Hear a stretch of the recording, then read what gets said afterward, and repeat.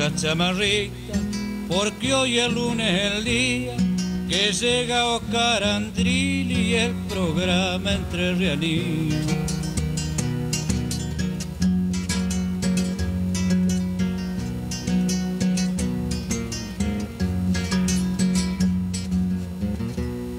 Hablando de mi Entre Río, de arroyo, monte y estero, y contando nuestra historia, allí estará el compañero. Y si vas por Entre Ríos, hermano, no has de olvidar de conocer mi provincia como la conoce Oscar.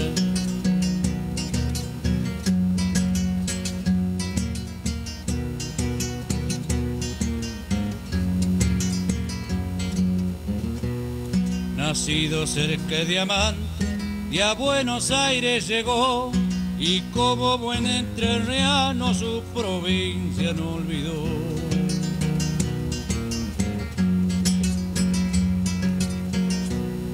Costeando por esos ríos, verá qué cosa bonita. Sí, señor, sí, señor. Qué cosa bonita tiene para ofrecer nuestra querida provincia de Entre Ríos. Muy, pero muy buenas tardes. Bienvenidos a un lunes más que en la sumatoria estamos haciendo el número 1160. 1160 lunes en este lunes 14 de febrero del 2022. Feliz días de los enamorados a todos. Feliz días a los que eh, viven enamorados como yo, por ejemplo, yo vivo enamorado, vivo enamorado de la vida, vivo enamorado de mis amistades, vivo enamorado de, toda mi familia que nos rodea, vivo enamorado de lo que hago aquí en la radio, vivo enamorado de, cuántas situaciones se nos presenta eh, en la vida desinteresadamente. Vivo enamorado cuando podemos dar una mano y ayudar a quien más lo necesita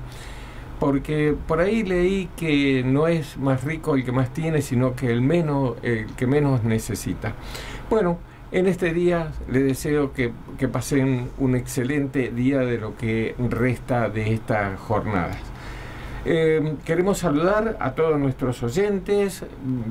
Gracias por permitirnos entrar a sus hogares, que junto a la operación técnica de Agustín, eh, la voz comercial de la señora Graciela Montiel y en la atención telefónica allí está Fernando Agustín Andrilli para atender a partir de este momento todas, absolutamente todas sus inquietudes.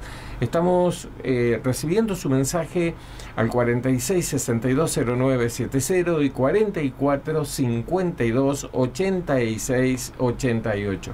En el mundo nos están escuchando a través de nuestra página web www.laradiodemipais.com.ar y por el Facebook La Radio de mi País AM1170. De manera que en el lugar que usted esté en este momento por la aplicación de la radio, nos puede ver, nos puede escuchar, puede compartir nuestro programa, nos puede enviar mensajes a través del Facebook de la radio a todos les damos respuesta. O por nuestras redes sociales, nuestras propias redes sociales, el Facebook es Oscar Andrilli, por Instagram es arroba Oscar Andrilli. Y si usted desea ver todos los programas nuestros de todos los lunes anteriores, inclusive de este, entre, ingrese al canal de YouTube. En el canal de YouTube allí nos va a ver, nos puede disfrutar de este programa de la misma manera que lo disfrutamos nosotros todos los lunes al estar aquí en la radio. Que ayer, por, un, eh, por estas cosas de, de fechas y aniversarios, fue el día de, la radio. Mil gracias, muchísimas, pero muchísimas gracias a tantos, a tantos mensajes que hemos recibido a través de, nuestras redes sociales.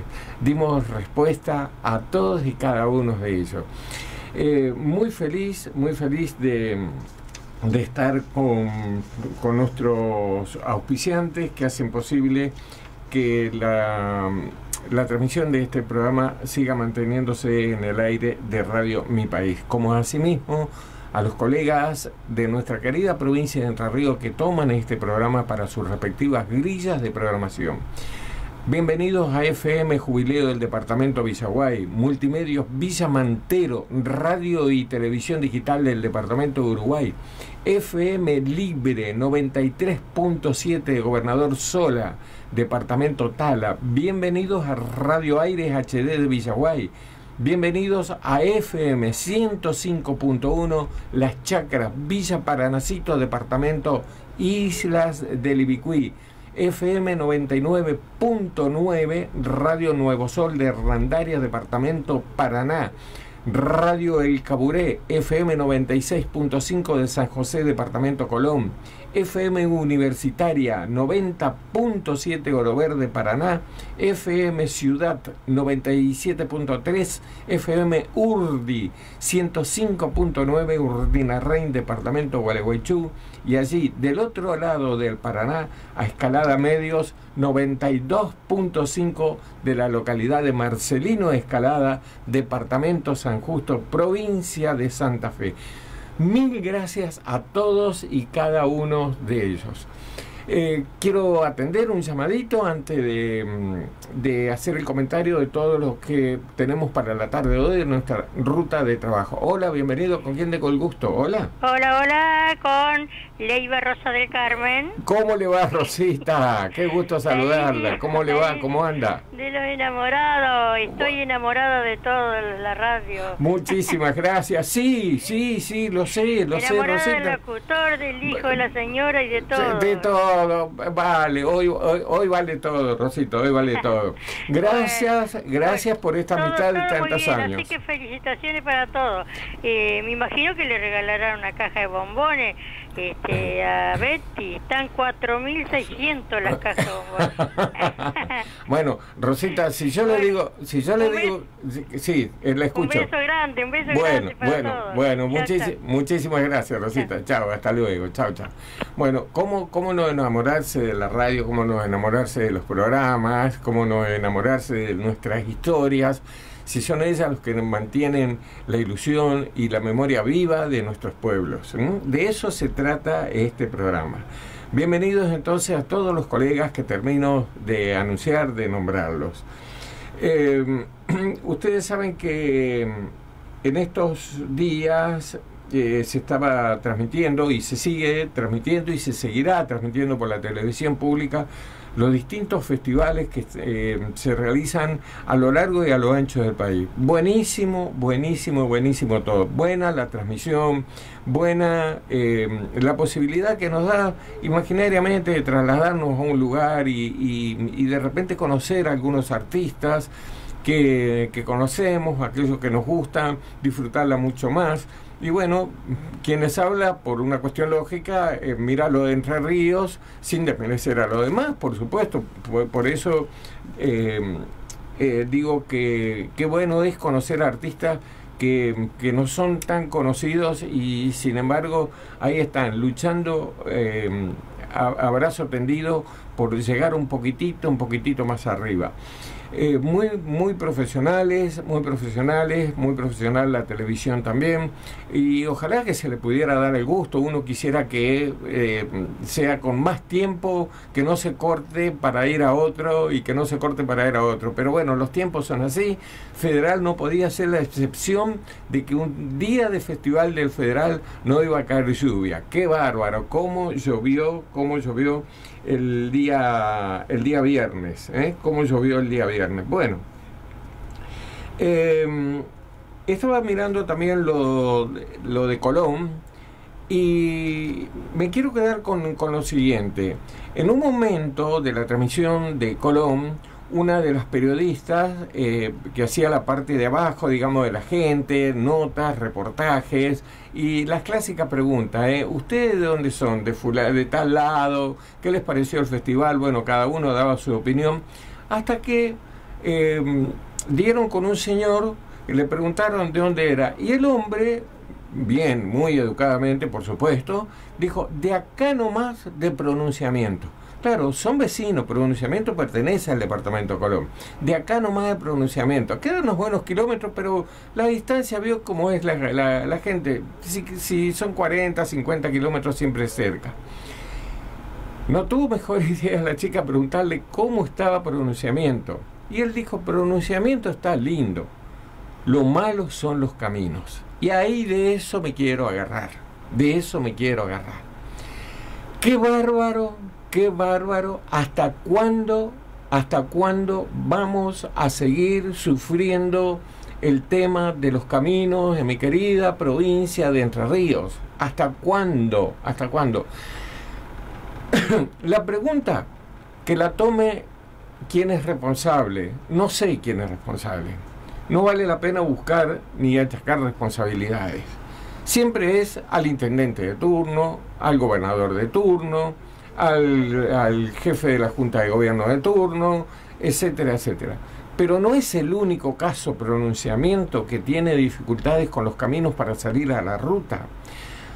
Cuando uno lee un libro escrito hace 40, 50 años, normalmente se habla de los malos caminos que atravesamos en esa época.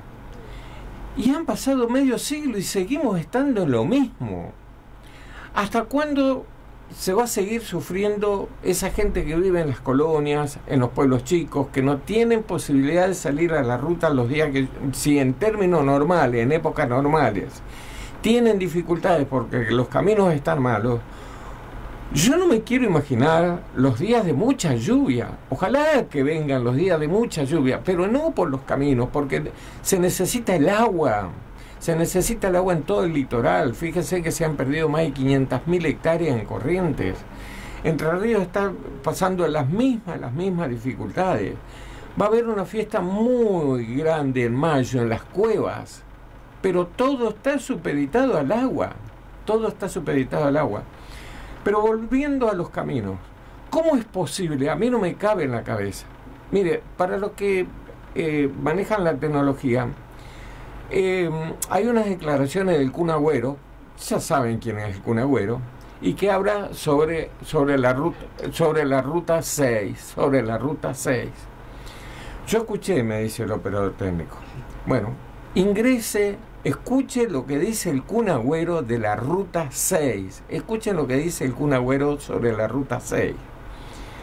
Eh, por ahí es como que se le suelta la cadena, eh, pero, pero vale, vale porque cuando uno tiene una cosa aquí en la garganta y la quiere decir, la dice a veces sin, sin medir las, las palabras que dicho sea de paso, no es más que una realidad la que uno está escuchando. Y se refiere a los caminos, y se refiere a quienes cobran los impuestos, y se refiere a qué hacen con la plata que se recauda de los impuestos.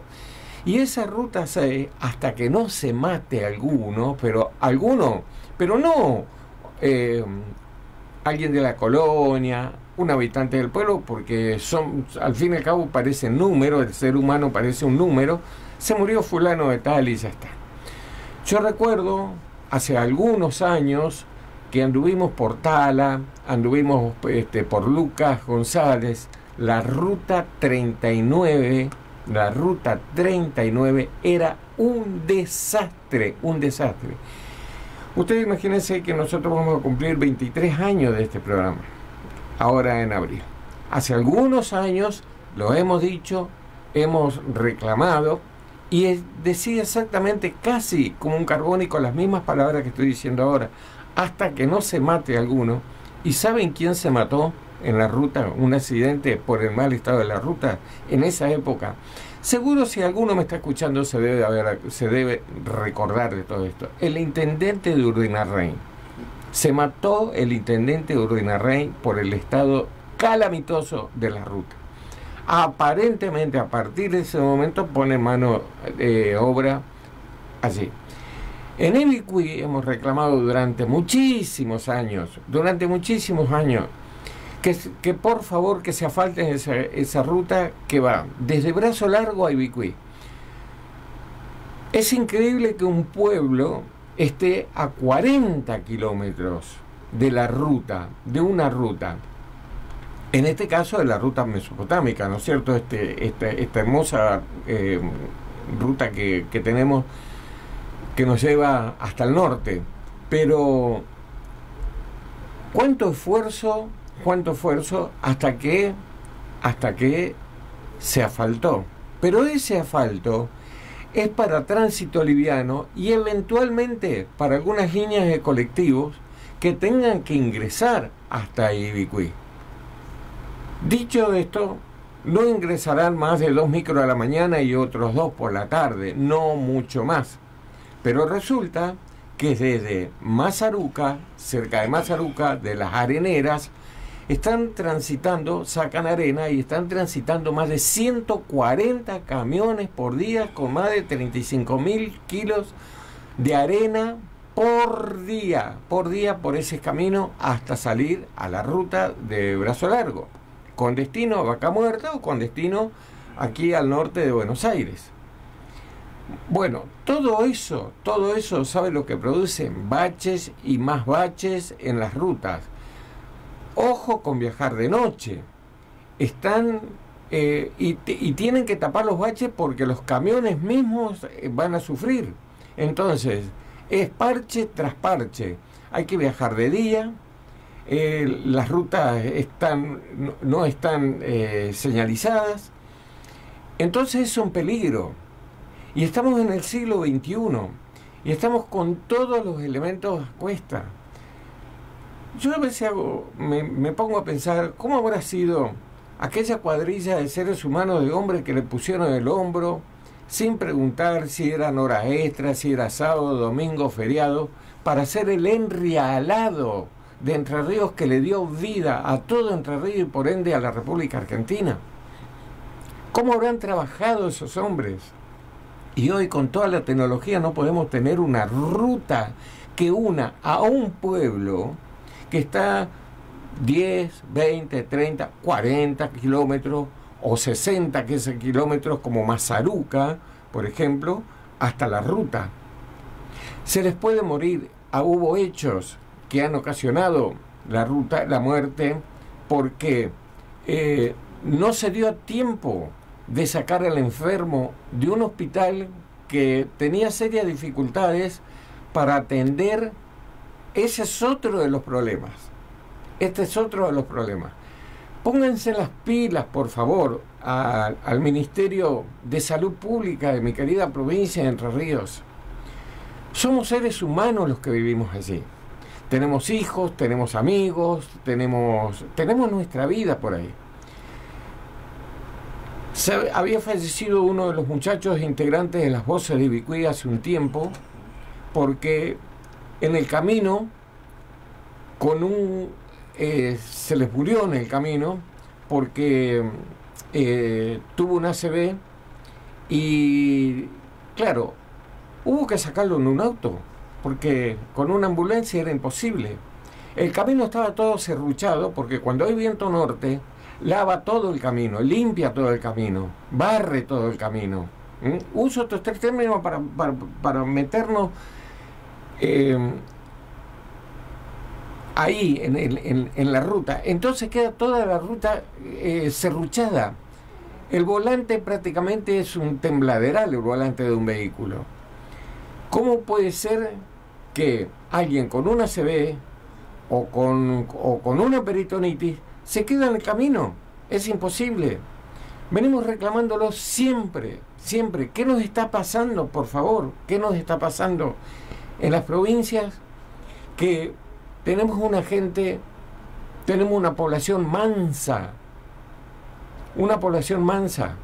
Por suerte todavía es una población mansa, que quizás con engaños y promesas políticas todavía creen que eso es posible. Y cuando se llega el tiempo, volvemos a lo de antes. Entonces uno empieza a sumar y empieza a ver, pero si esto hace 40 años que está así, esto hace 40 años que nos prometieron esto, esto hace 40 años que yo me acuerdo que fulano, mengano, y ahí empieza la memoria. Pero mientras tanto, ¿qué? Y seguiremos en la misma. No sé por qué me pongo así, pero me da bronca, me da bronca porque Dedico varias horas de estudio y de literatura a mi querida provincia de Entre Ríos. Y las historias, eh, como voy a relatar ahora, eh, estoy muy feliz de recibir libros. La semana pasada le dije que esta semana íbamos a tener un nuevo libro y efectivamente lo tengo aquí en mis manos. Muestro un poquitito a las camaritas, después lo vamos a poner mucho más cerca. El boliche de Impini. El boliche de Impini, distrito Talitas, allí muy cerca de La Roque. Quisiéramos ir a ver este boliche. Tiene una enorme historia este boliche cuando uno se pone a leer este libro, escrito por uno de los nietos de, los Impini. Por eso es el boliche de los Impini. ¿Cuánto le tengo que agradecer al doctor Jorge Impini, un abogado que vive en Gualeguay, que me manda este libro de regalo porque sabe de nuestro trabajo literario y educativo y cultural aquí en Radio Mi País desde hace muchísimo tiempo. Para don Oscar Andrilli dice la dedicatoria que aunque no lo conozca, sé de su aporte a nuestra costumbre y a nuestra cultura. Un abrazo a Jorge Impini, 23 de enero del 22. Jorge Rubén Impini nació en Gualeguaychú en 1961, es abogado egresado de la Universidad Nacional del Litoral y desde 1985 ejerce su profesión en la ciudad entrerriana de Gualeguay. Hijo de Aldo Raúl Impini y Perla Romani, lleva en su sangre la historia y la memoria de Talitas, la sonámbula y el boliche de Impini. Imperdible esta literatura, imperdible. Y como ayer fue el día de la radio, voy a hacer un comentario con respecto a las emisoras radiales de aquella época que escribe Jorge Impini en, la página 125 de este libro que compone exactamente 196 eh, páginas. Esta es nuestra propuesta de este lunes y como todos los lunes em, estamos dispuestos a ofrecer lo mejor de lo mejor. Un imaginario tren nos va a llevar a pasear por la campiña entrerriana en la tarde de hoy. Pararemos en un andén imaginario también, por supuesto. Comentaremos algunas cosas. Eh, revolveremos allí las historias de Entre Ríos, a ver con cuál de ellas quedamos mientras la televisión en estos momentos están mostrando eh, cómo se suman brigadistas para convertir las llamas en corrientes por la sequía y el, fuego. Y por supuesto, por supuesto, los campos y los yerbales y agárrese, agarrate Catalina con el aumento que se viene de la yerba más adelante. Quiero, quiero presentar, quiero presentar un colega, un amigo, este, y estas cosas de la radio, estas cosas de la radio que nos une la radio, para eso es, es una de las cosas fundamentales que tiene la radio. ¿eh? unirnos. Y, este amigo que vino el, la semana pasada porque tenía un viejecito a Lucas González. Lucas González que presentó orgullosamente la fiesta de la cerveza. ¿Cómo le va, mi querido amigo? Un gusto saludarte, Osvaldo, bienvenido. Bien, gracias, don Andrilli, lo prometido de deuda.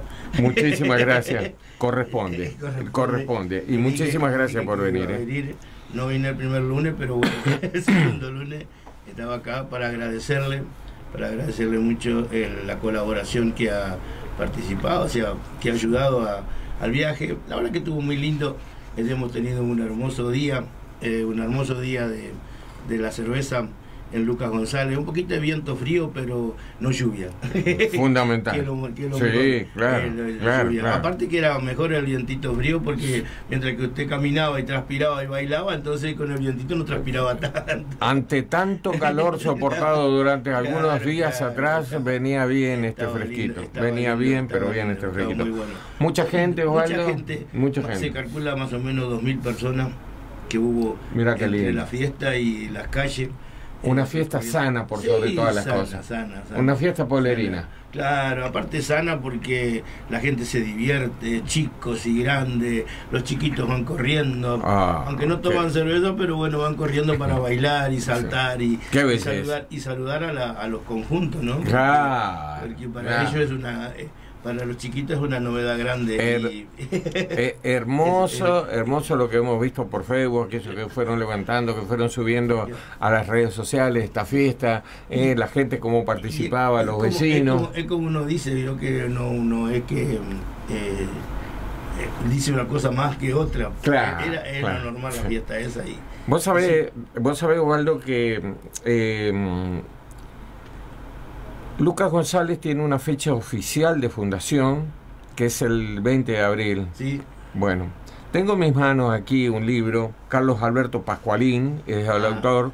El libro se llama Trabaja por el PAN. ajá. Bueno, es súper polémico para aquellos que están en la historia y, Claro. para, y para la intendencia de Lucas González y para la historia misma de Lucas González.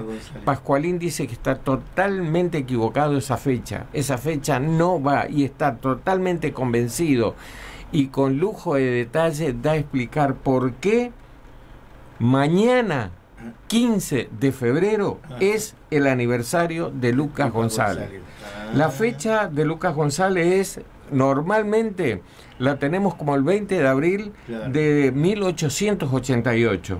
1888. En este libro, Pascualín dice que es el 15 de febrero de 1814. ¿Sabes cuántos años de diferencia hay entre una y otra? 74 años. Bueno, esto es Entre Rianías, nos vamos a la pausa, enseguidita volvemos. Seguinos en todas las redes con imagen HD al mundo. Seguinos en Facebook, la radio de mi país, AM1170. Instagram, la radio de mi país. Seguinos en YouTube, la radio de mi país. Déjanos tu mensaje por WhatsApp 11 21 74 86 23. La radio de mi país, AM1170. Corralón Bianchi, materiales para la construcción, amplio stock. Disponemos de modernas unidades, entrega inmediata. Trabajamos con tarjetas Visa, Cabal, American. Corralón Bianchi, Marqués de Avilés 3265 Hurlingham. Pedidos y ventas al 4665 9111 4452 1795. Pedidos y ventas al 4665 9111 4452 1795. Corralón Bianchi. Construcción asegurada.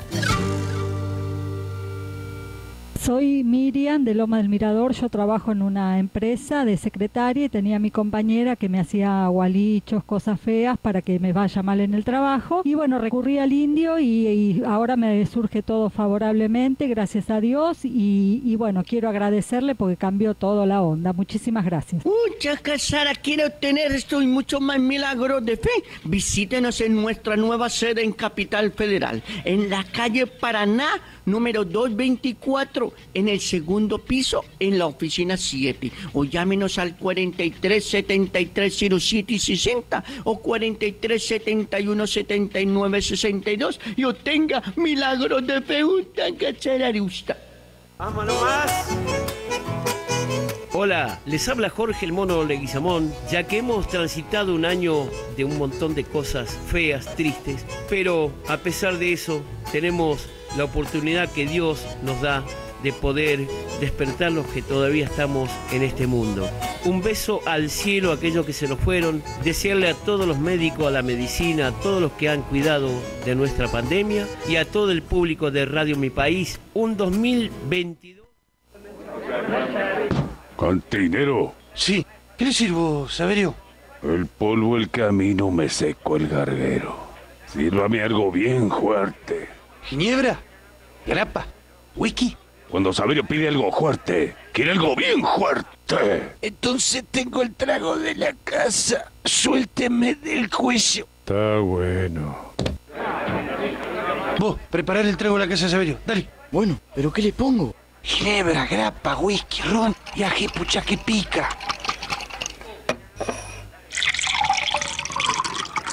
Si no está fuerte, no lo pago.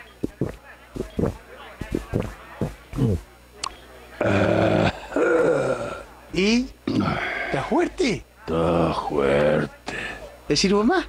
Sírvame un yogur. ¿Un yogur? Y por la acidez, ¿vio? No hay duro que no se ablande, ni mercado que no se conquiste. Publicite en la radio de mi país y conquiste el mercado. La radio de mi país. Publicidad efectiva. AM1170, mi radio.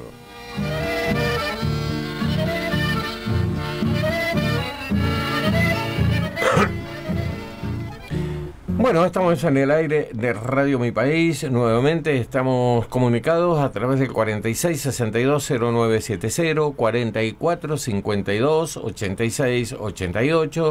0970, 44 52 86 88 por el Facebook de la radio, es la radio de mi país AM1170, transmitiendo a todo el planeta Tierra a través de nuestra página web www.laradiodemipaís.com.ar. En el lugar que usted esté en este momento, baje la aplicación del Facebook de la radio, nos puede ver, nos puede escuchar y compartir con nosotros eh, tantas tantas historias que tenemos para, eh, para, para dar a conocer, eh, historias desconocidas, historias olvidadas, historias ignoradas, pero historias al fin porque están en la literatura. Quiero agradecer a Ñamabel, Casas de Comida, todo rico y caseros. Ñamabel, comidas caseras, empanadas, tartas, sándwiches, panadería.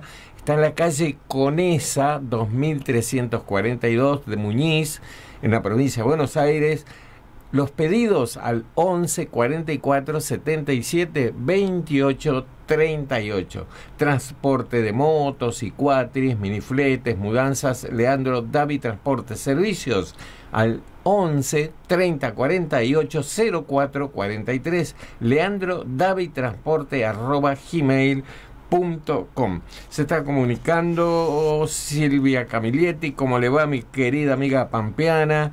Un beso grandote, grande, grande para toda la familia. Paulina Eiger, buenas tardes para usted y su audiencia, como todos los lunes junto a mi hijo Marcelo, saludos para todos. La señora Viviana Ratari nos dice buenas tardes. Oscar, como siempre, escuchando con mi esposo Dante, quiero comentarles que fui a comprar a Ñamabel y como siempre todo muy rico. Oh, ah, justo. Justo, bueno, bueno, cuánto me alegro, cuánto me alegro. Les mandamos un fuerte abrazo. Otro para usted, señora Viviana, el cariño de siempre para la familia. ¿eh? Muchísimas gracias por, por, la compañía de siempre. Muchas gracias. Ali Olivera, buenas tardes, Oscar, que sea una exitosa semana. Saludos desde Peguajó, subdepartamento Gualeguaychú. Bueno, a todos, a todos, muchísimas, pero muchísimas gracias. Desprendimiento. Guitarra. Es tiempo de partir. Mis manos se aquietaron entre un manso crepúsculo. Los dedos ya no pueden agitar en armonía tu aljibe iluminado. Presiente el ser, una música cósmica, el eterno sonido de la inmensa guitarra de cuerdas estelares. Asombrado del desprendido vuelo, escapando del lastre que impusiera un destino probatorio de valores, allá voy, aligerado hacia la profunda guitarra de la noche. La zafadura deja atrás quemándose los restos de ese negocio existencial que pesa. Desde la altura se desdibuja un muchacho costero bordeando su arroyuelo.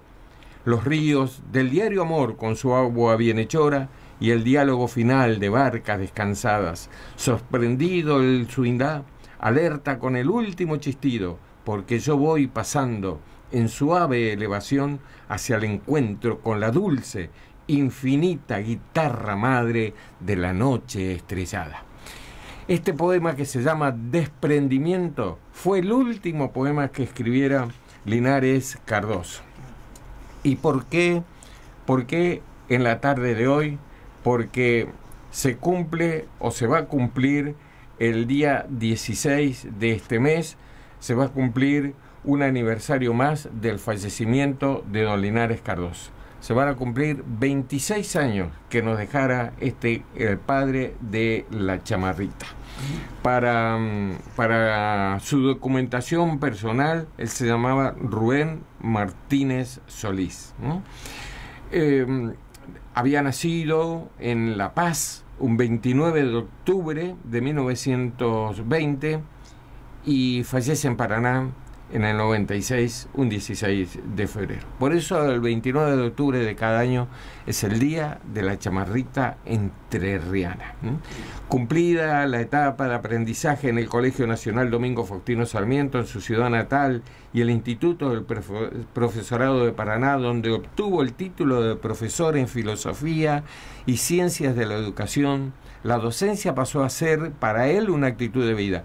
Quizás sin proponérselo, enseñaba en toda circunstancia, más allá del aula. Soy un humilde maestro, se definía, y confesaba que aprendía constantemente del hombre entrerriano. Aprendía del paisaje, del islero, del puestero, de los viejos criollos, del pescador, de los que abrieron y abren el camino todos los días.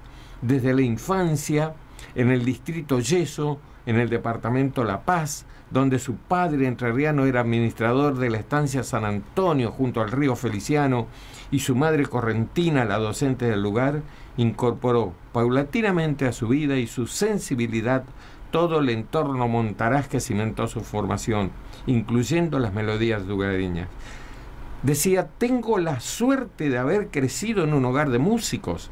Mi madre, además de educadora, era profesora de mandolín tocaba el arpa y la guitarra y cantaba muy bien. Mi padre era un guitarrero popular, pero con un gran sentido de la música criolla. Los músicos solían reunirse en mi casa y todo el calor y el color de mi infancia está sumergido en ese proceso musical. Bueno, qué historia larga y qué bueno sería que algún día nosotros desde nuestro programa podamos dedicarle las dos horas a quienes hicieron de alguna manera la historia Entre Ríos. Hablar de Urquiza, hablar de Pancho Ramírez, hablar de López Jordán, hablar de Sabá Hernández, hablar de Crispín Velázquez, hablar de Guarumba, hablar de tantos autores que hacen la literatura de Entre Ríos. Me voy musicalmente, me voy musicalmente hacia una colonia. A ver qué me dice este hombre de esa colonia.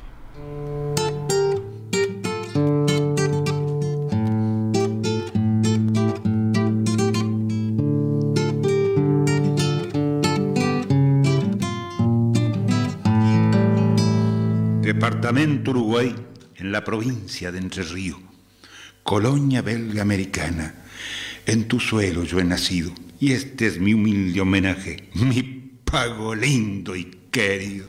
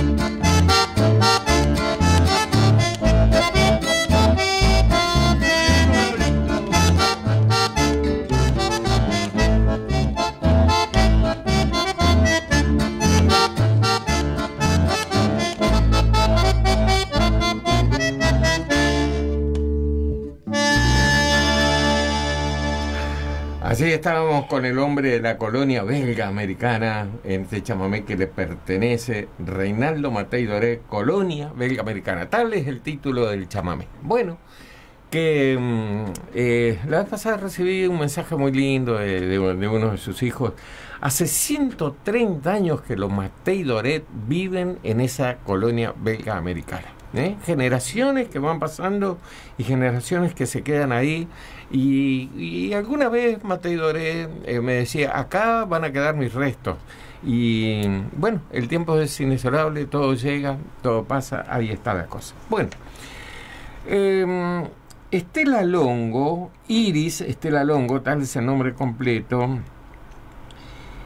es la hija de Andrés Longo y cuenta en un libro, en los tiempos del piano, y ella dice que rastreando papeles y recordando conversaciones con mi padre, reconstruí su génesis. Los dos autores de la música, los dos autores, uno de la música, el otro de la letra, después le voy a decir de qué se trata, se desempeñaban en el Consejo General de Educación. Andrés Longo como oficial mayor e Isidoro Rossi como prosecretario del Consejo. Y cuando la Asociación Cruz Celeste de Buenos Aires, presidida por el, fro- eh, por el profesor, así se dice, José Natale, organizó la primera excursión de escolares entrerrianos a la capital federal, el presidente del Consejo, el profesor Eduardo Ortiz, le solicitó una canción para que sea entonada por los niños durante el viaje y a su llegada a Buenos Aires. Y ambos se abocaron de inmediato a la obra y así nació esta marcha que tan feliz trayectoria ha tenido hace más de 70 años. Y el martes 15 de enero de 1935, bajo el título de Los escolares inician su excursión a Buenos Aires, el diario publicaba que en la, balsa, en la balsa automóvil de las 7 horas se embarcaban con destino Santa Fe los escolares entrerrianos que participarán de la excursión a Buenos Aires organizado por la Asociación Metropolitana Cruz Celeste y los contingentes eran 130 niños y niñas de la escuela número 1 Centenario, de la número 2 25 de Mayo, de la número 3 Rivadavia, de la número 4 Sarmiento, de la 5 Bavío, de la 6 Belgrano, de la 7 Mariano Moreno, acompañado por más de 50 personas entre autoridades, directivos y docentes. Y antes de la partida se leyó un mensaje del gobernador, del doctor Luis Echeverre, quien constituyó a los escolares en mensajeros ante el gobernador de Santa Fe, el doctor Luciano Molinas, y ante el presidente de la República, Agustín P. Justo. La banda de música de la policía ejecutó el himno nacional argentino y la marcha que vamos a escuchar ahora, que fuera compuesta especialmente para esa canción por Andrés Longo y Isidoro Rossi. La edición El Tiempo, el diario del mismo día, relataba que al ponerse la, la balsa en movimiento sonaron los acordes de mi bandera y sobre la balsa más de 100 banderas se agitaron en un revuelo como una bandada azul y blanco de palomas aleteando despedida. La marcha en cuestión es esta.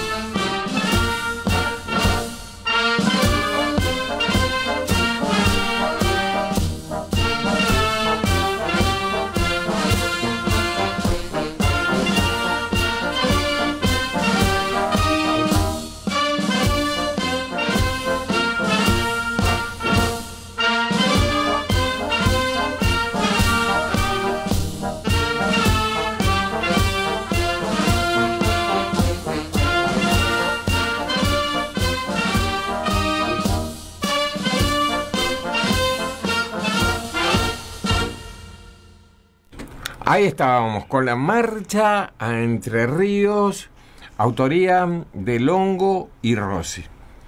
¿Por qué, por qué hoy? ¿Por qué hoy? Porque hoy hacemos el recordatorio del autor, de uno de los autores de esta marcha, Isidoro Rossi, que nació en Paraná el 31 de marzo de 1897 y falleció el 12 de febrero de 1951. Esta es la fecha que queremos conmemorar. ¿Quién fue Isidoro Rossi? Fue poeta, cuentista, dramaturgo, escribió obras de teatro para niños, incluido en su libro Teatros para Niños. En 1935 llevó el teatro a la cárcel de Paraná en una experiencia de singular valor educativo. Su obra Cárcel se tradujo al francés para ser representada en Bélgica. Esta gente a veces están olvidadas, las fechas que se olvidan, los calendarios de Entre Ríos. Eh, están extraídas, lectura pura por supuesto, de la revista El Tren Zonal. El nuevo número de la revista El Tren Zonal posiblemente, posiblemente si todo va bien lo tenemos ya para el lunes de la semana que viene. Hoy salió desde Novoyá eh, con destino aquí a, Buenos Aires a nuestras manos. Así que bueno, ojalá, ojalá este, que, que muchos de ustedes puedan integrarse a la lectura de la revista del Tren Zonal. Es una revista de enorme caudal cultural. Eh, muchos son los, los corresponsales de Entre Ríos que escriben historias, historias puras memorias ¿eh? allí en esa revista. Hay que tener su tiempito de lectura, leer, recordar y por ahí está su pueblo también, ¿por qué no? Eh, se está comunicando Mario Velázquez. Buenas tardes, Oscar. Buen programa. Gracias por acordarse de mi Lucas González, mi pueblo querido. Gladys de Belvedere. Muy bien lo de los caminos. Tengo 86 años y toda la vida escucho lo del camino hacia Belvedere. 86 años. Yo decía hace 40, 50, ¿eh? 86 años está oyente y escribe sobre los caminos. Bueno, ¿hasta cuándo? ¿Hasta cuándo podemos seguir teniendo todos esto, estos caminos? Somos seres humanos. Eh, ¿Cuántas cosas más tengo para, para, la tarde, para la tarde de hoy? Quería recordarle algo que dejé en el tintero la vez pasada, cuando en 1789 doña Tadea Jordán, viuda de Juan Gregorio Ramírez, se casa en segunda nupcia con Lorenzo José Francisco López. Tadea Jordán, la mamá de Pancho Ramírez, de ella estamos hablando, viuda de Gregorio Ramírez, el padre de Pancho Ramírez se casa, vuelvo a repetir, en segunda nupcia con Lorenzo José Francisco López. Y uno de los numerosos hijos de este matrimonio fue José Ricardo, por consiguiente hermanastro de Pancho Ramírez, que nace en Concepción del Uruguay el 7 de febrero de 1793. Esta es la fecha que me quedó colgada, este, quedó en el tintero el lunes pasado, como van a quedar muchas historias en la tarde de hoy.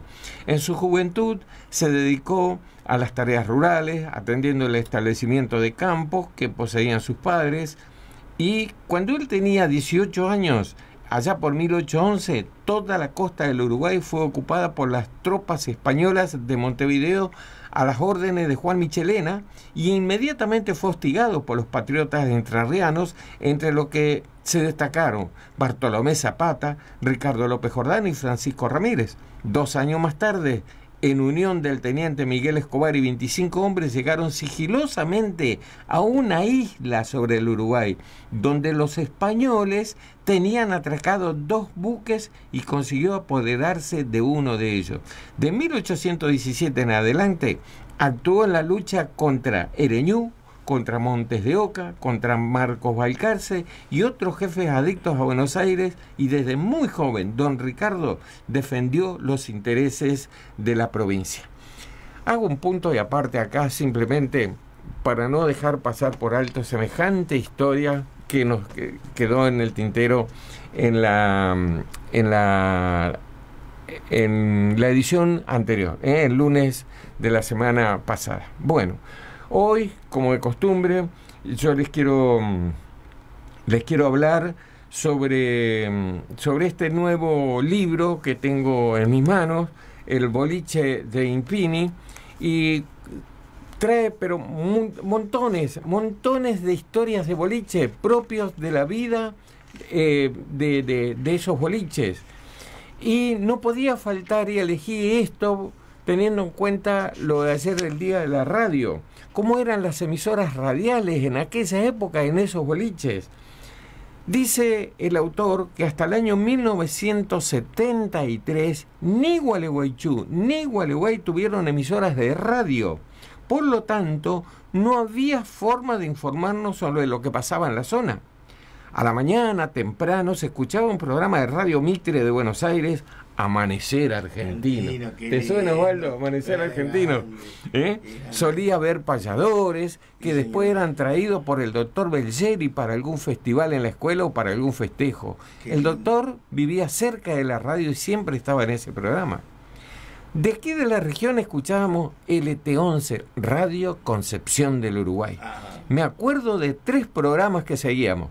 La discoteca del aire, los radioteatros y un espacio que se llamaba Aquí Gualeguay. La discoteca del aire era un programa de música de ese momento, lo que se podía escribir y dedicar temas. Escuchá esto, Waldo, ¿no? Ah, ¿no?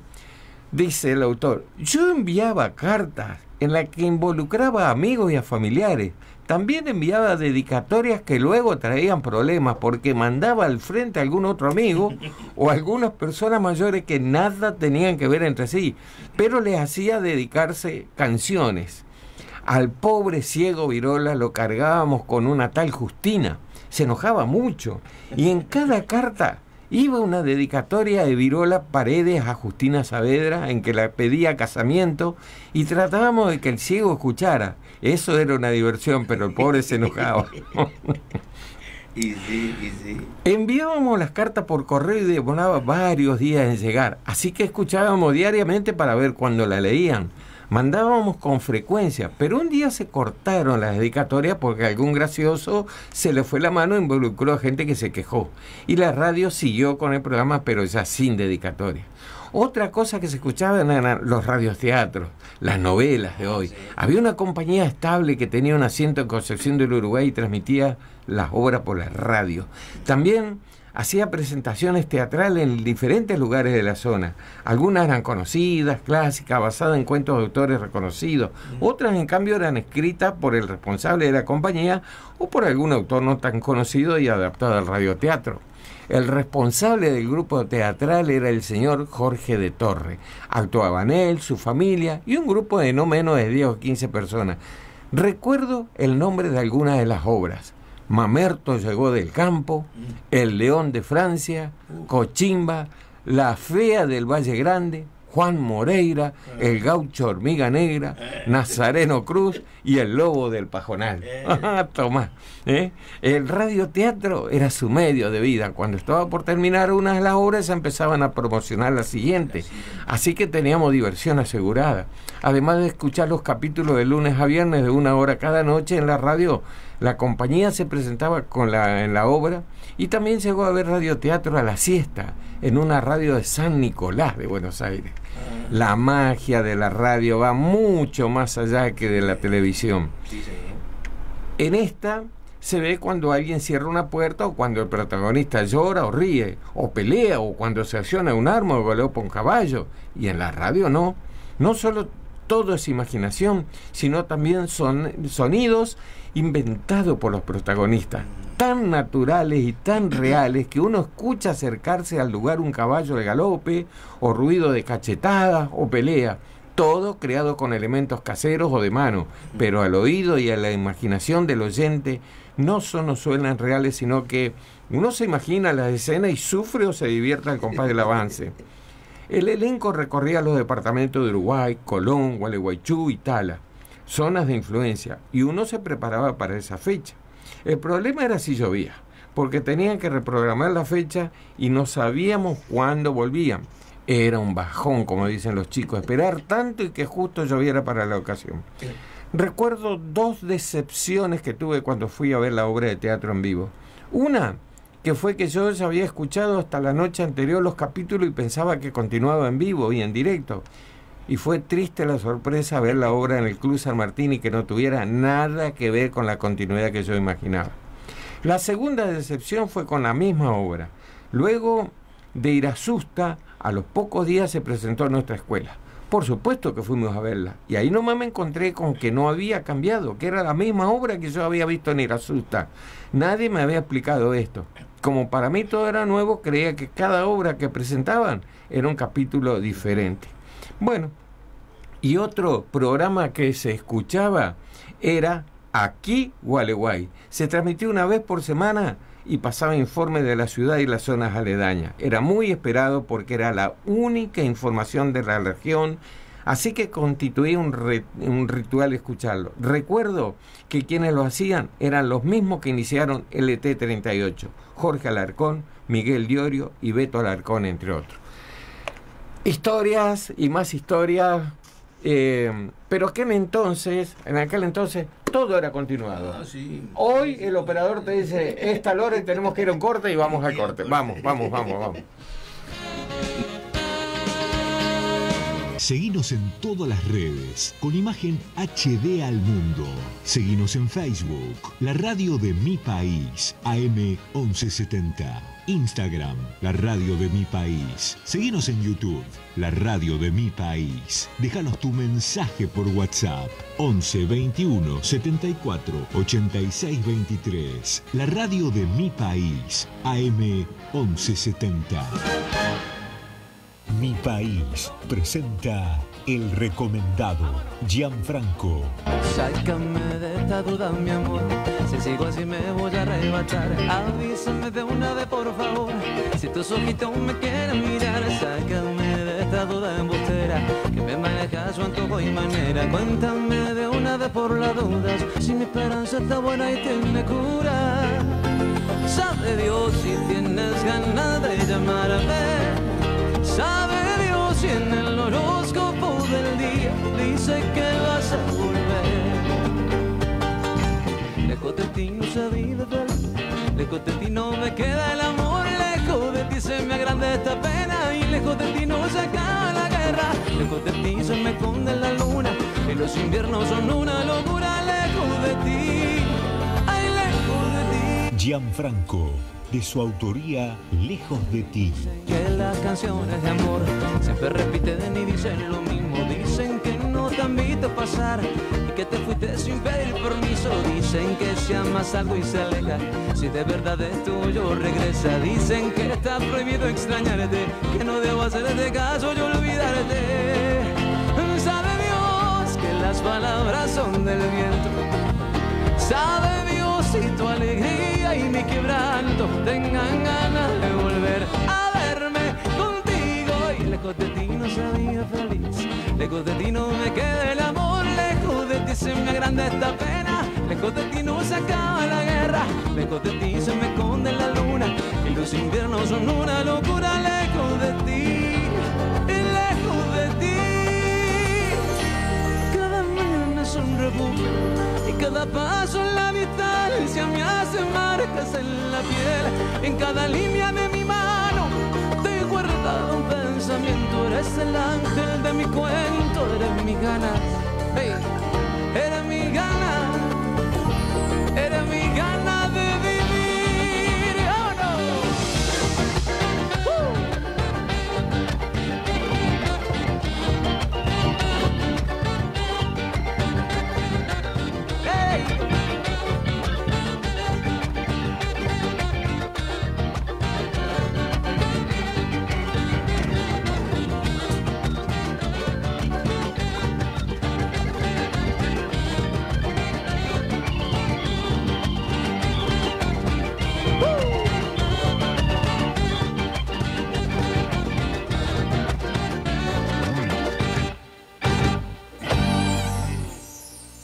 AM1170, mi radio.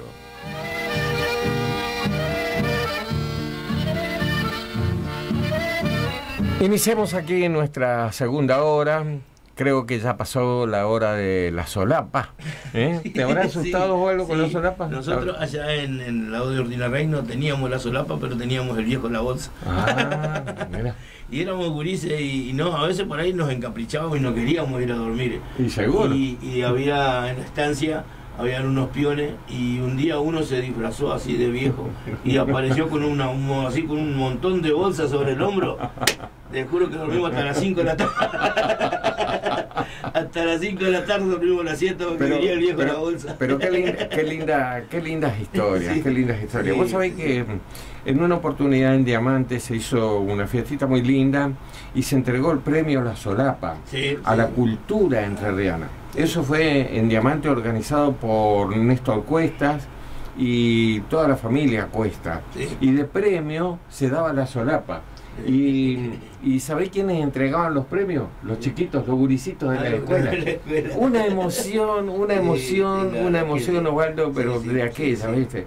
Sí, Y al único, al único programa de Buenos Aires eh, que, que eligieron para, eh, para entregar el premio de la solapa es a este programa. De manera que yo tengo la solapa en mi casa. Ah, tiene la solapa. La- tengo la solapa en mi casa. Un día, un día esto la voy a traer. ¿eh? Un, día, un día esto la voy a traer, la vamos a poner aquí porque, bueno, estas camaritas que están aquí por el. Facebook de la radio, claro, claro, porque la gente este, no se imagina lo que, lo, lo que es la solapa, ¿no? Este, sí, mi nieta le tiene miedo a la, a la- a la solapa. Está la- ahí está la bruja, eso. Este, pero eh, bueno, forma, forma parte de la cultura Claro. entrerriana y, y eso este, se fue extendiendo esa cultura hacia otras provincias, hacia Santa Fe también y hacia Corrientes también, Sí, sí, ¿no? sí. Varios la, la- la- la Eh, solicitaron. esa- exacta, exactamente, exactamente. Le ponemos música a la tarde, mi querido amigo, mientras tanto me organizo un poquito aquí con mi literatura. Vamos. Mi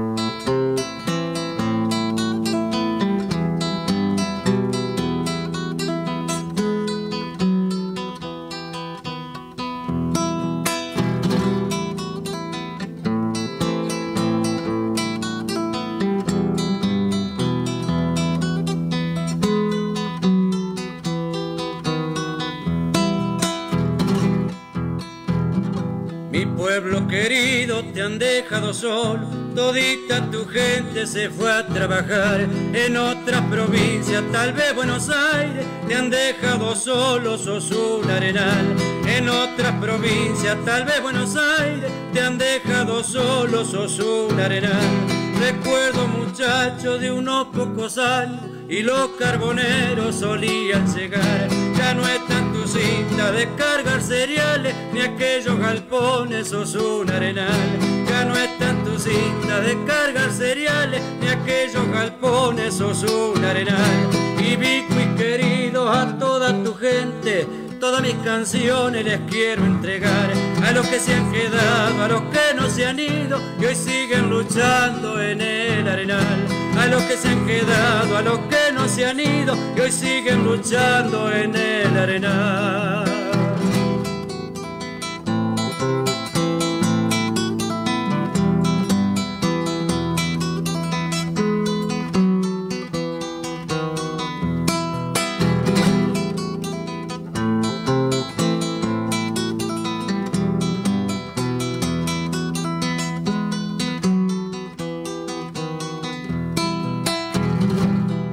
Aquellos señores que te prometieron traerte progreso y que hoy solo están tus vías vacías, sin ferrocarriles, te han llevado todos, sos un arenal. Tus vías vacías, sin ferrocarriles, te han llevado todos, sos un arenal. ¿Dónde están ferry? ¿Dónde están tus lanchas? El embarcadero que hoy tampoco está, te han llevado todo, te han dejado solo, mi pueblo querido, sos un arenal. Te han llevado todo, te han dejado solo, mi pueblo querido, sos un arenal. Y querido, a toda tu gente, todas mis canciones les quiero entregar. A los que se han quedado, a los que no se han ido, y hoy siguen luchando en el arenal. Los que se han quedado, a los que no se han ido, y hoy siguen luchando en el arenal.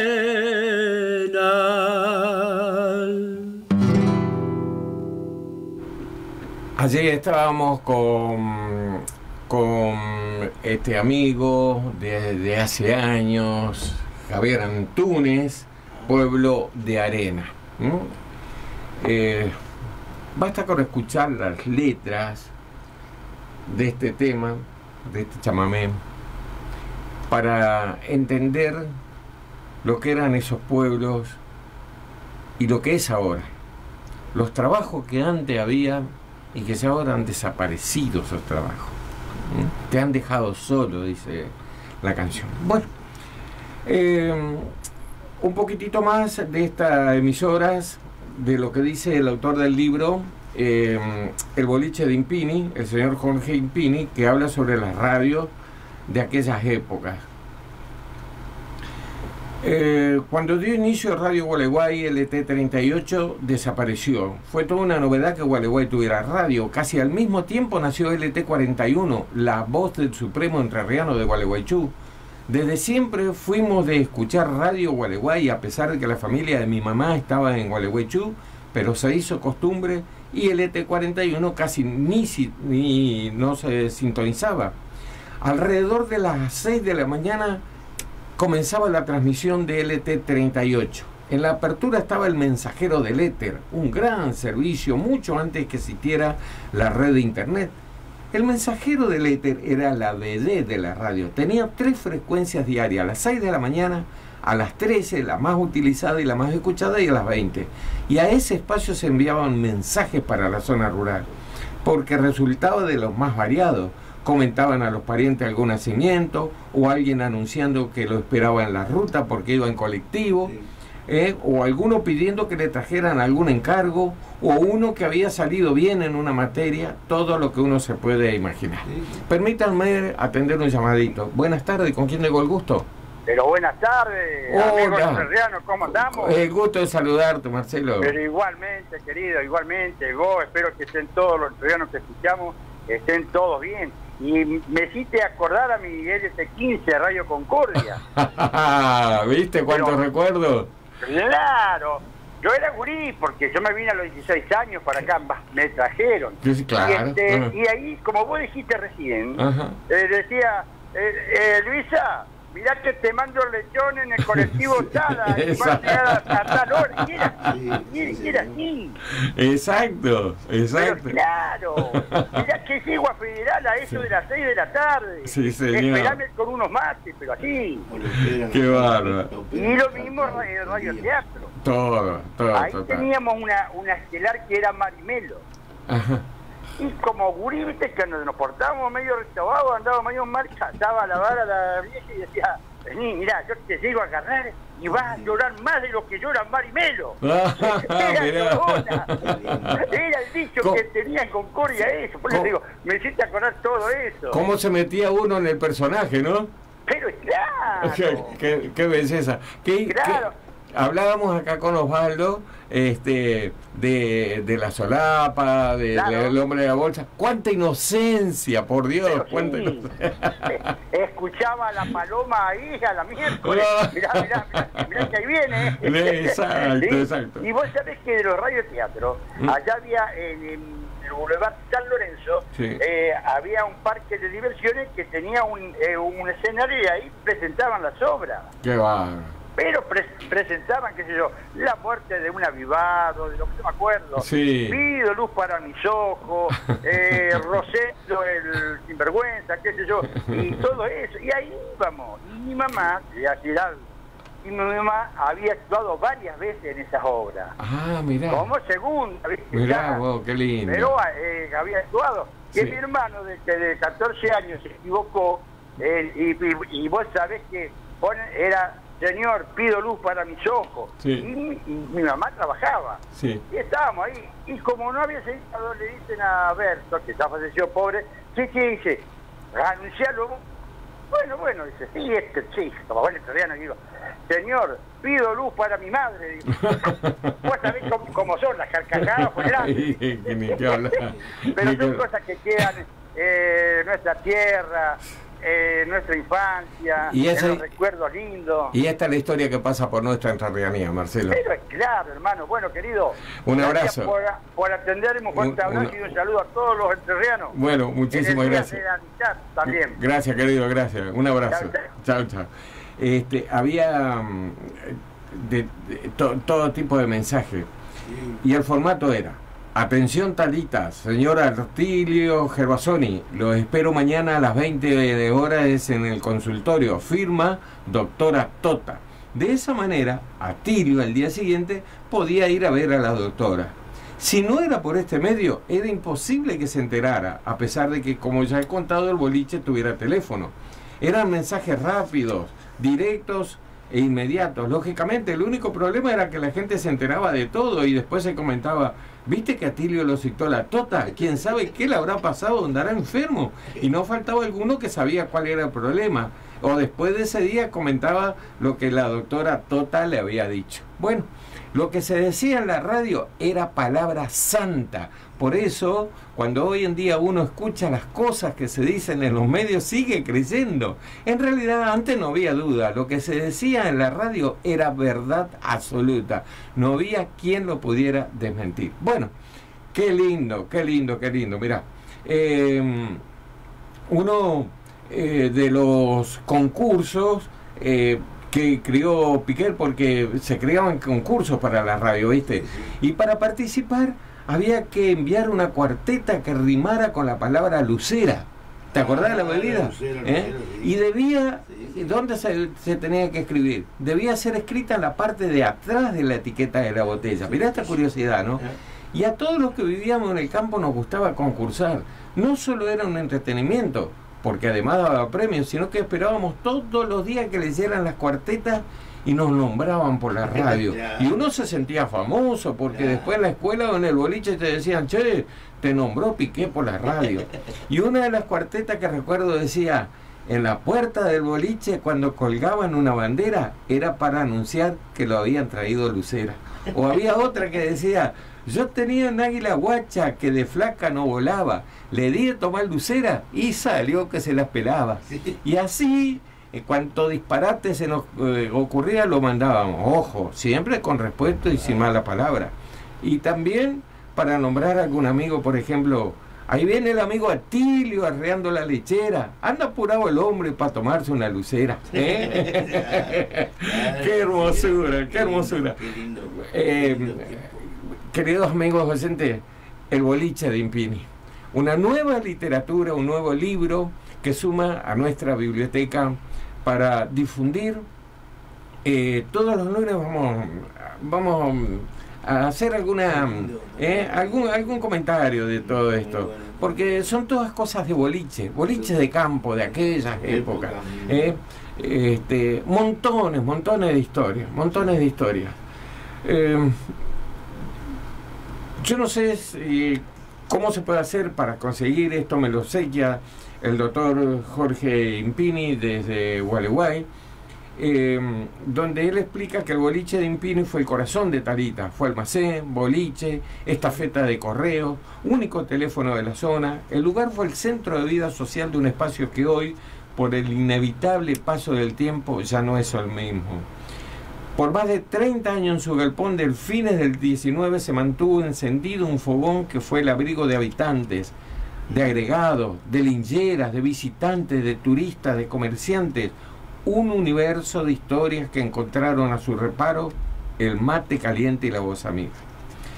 Y Jorge Impini vuelve sobre su vida en el boliche y en la sonámbula y recupera desde el recuerdo la época en que los Impini fue el núcleo vital talitero, carneada, cuadrera, costumbres, personajes, anécdotas, todo un tiempo que retorna al presente para mostrarlo un modo de vida que lamentablemente ha ido desapareciendo. El boliche de Impini enciende nuevamente la llama del fogón para que ya no se apague.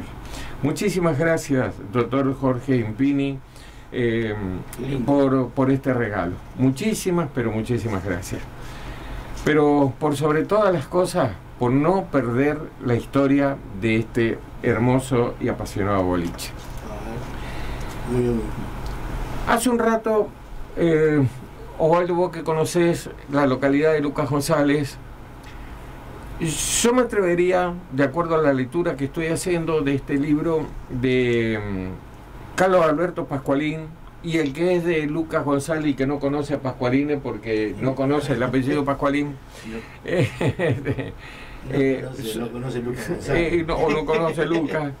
Porque Eh, Pascualini lo nombra, o sea, hay uno que tiene un programa que no debe ser el mismo, o pariente seguro debe ser. Son de distintas. De, de hay, distintas. hay- hay uno, hay uno- hay uno que hace un programa muy lindo, eh, que, es, que está el relator de, ¿De la jineteada? de jineteada, Claro, de claro, carrera. claro.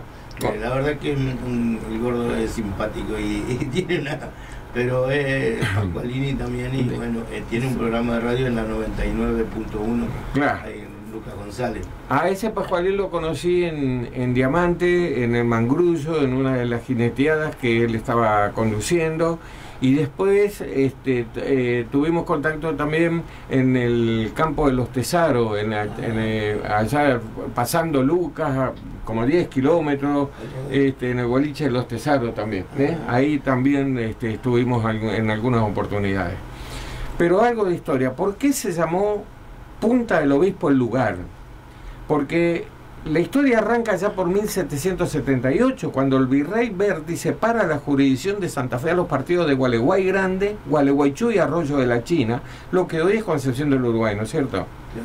Que de- ahora dependían de Buenos Aires y desde el Arroyo Nogoyá hasta el río Uruguay para la dirección de Buenos Aires. El primero que marcó la zona de Entre Ríos en el mapa, allá por 1607, fue Hernandarias registrando el contorno más o menos y marcando un arroyo en el centro de norte a sur sin precisar el nombre. Y en 1778 Rocamora traza mejor ese mapa, marca los tres arroyos importantes, el Gualeguay, el Nogoyá y entre medio el arroyo Cle. Eh, al año siguiente se produce el arribo a Buenos Aires del nuevo obispo y aquí entran a tallar los obispos, aquí entran a tallar el tema de los obispos, porque los obispos mantuvieron tierras como territorio eh, propio o como reinado. Es más, el Papa mantenía también un reinado y tenían mucho poder. Entonces, entra a Buenos Aires eh, el obispo Monseñor Sebastián Malvari Pinto. Y antes de asumir la diócesis de Buenos Aires, realiza una gira pastoral por Entre Ríos para examinar la zona que era pretendida por los portugueses y que el Papa le había encargado especialmente que lo atendiera. Establece capilla, las jurisdicciones y quiso terminar con la disputa entre los curas por el territorio. Primero, el cura Quiroga y Tabuada estaba en la parroquia de Gualeguay. Tiene un historial este cura, mamita querida. Y pretendía que quede para la parroquia suya, desde el Gualeguay hasta la margen del arroyo Nogoyá. Y ahí empieza la disputa con el cura de la Baxada, Fray Mamerto Alonso, otro más. Eh, en esta omnipotencia, fíjate lo que hace el cura Quiroga y Taguada, se le fue la mano por castigar a un vecino de Gualeguay que era muy querido. Lo mandó a azotar y poner en el cepo. Y por ello fue castigado y mandado a Nogoyá, donde se hizo cargo de la parroquia. Mientras todo esto sucedía, el otro obispo, Malvari Pinto, mandó que Rocamora amojonara convenientemente el cuadrilátero de la parroquia de Gualeguay. Y Rocamora amojonó como pudo. Plantó horcones en los puntos que el obispo le pidió, y así fue que la naciente del Clep plantó un mojón, un gran tronco del garrobo. Ese lugar lo marcaba la mitad del trazado entre el arroyo Nogoyá y el arroyo Gualeguay, y además dejaba un lugar para acampar para cuando pasase de vuelta. Limpió el lugar, construyó un rancho con palmas, y ese apellido Tesaro que yo te decía, que, que íbamos para el cumpleaños de este viejito todos los años, decía que Rocamora fue el primero que dijo, he aquí, el mojón se ha plantado en la punta del arroyo que el obispo pidió.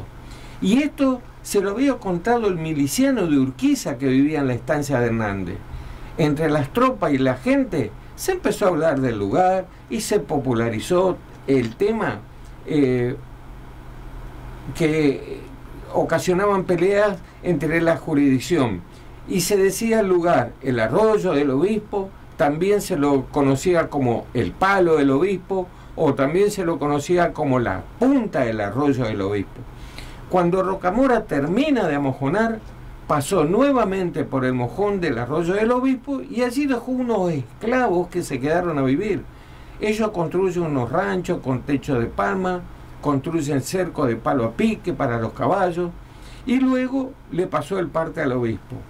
Y él, el cura Quiroga y comenzó con otro lío.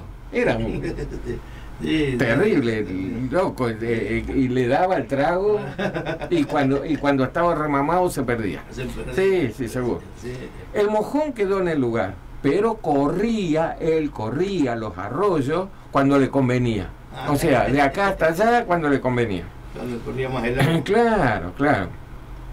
Recordemos que a la parroquia de Gualeguay le tocaba desde Nogoyá hasta el Gualeguay pero como el arroyo Cle, que corre en el medio de los dos arroyos en forma paralela, el mojón estaba en la naciente o en la punta del arroyo. Quiroga y Tahuada le hacía creer a todos que el Cle era el Nogoyá y que desde allí, desde ese mojón del inicio del arroyo, empezaba la parroquia de Gualeguay.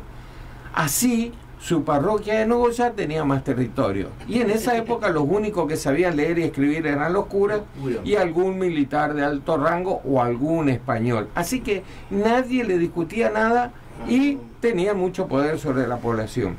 Tanto insistió este cura eh, Quiroga y Tabuada con esta estrategia que en poco tiempo quedó aceptada que la autoridad del cura llegaba hasta la punta del arroyo del obispo. Fue tan hábil que quedó hasta nuestros días. El departamento Nogoyá llegó hasta el CLE con jurisdicción de Paraná y el departamento Tala que comienza en el límite del Arroyo Obispo para la diócesis de Gualeguaychú. Los vecinos de Nogoyá llegaban con las redes, con, sus reses, perdón, a pastar hasta el mojón de la punta del Arroyo del Obispo, donde había agua siempre y allí se quedaban los cuidadores días y días. El lugar en poco tiempo llegó a tener varios ranchos. Los esclavos que habían allí ayudaban a cuidar las vacas y en pago se mataba alguna que otra vaca y también algún chasque o viajero dejaba alguna mercadería de aguardiente. Y así comenzó el lugar a conocerse como una pequeña aldea o paraje.